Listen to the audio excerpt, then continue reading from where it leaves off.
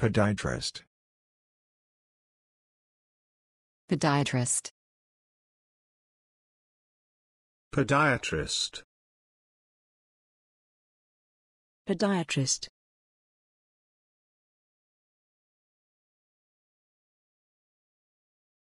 Your podiatrist will have no trouble getting rid of them. Your podiatrist will have no trouble getting rid of them. And if your feet are not in pristine health, find a podiatrist. And if your feet are not in pristine health, find a podiatrist.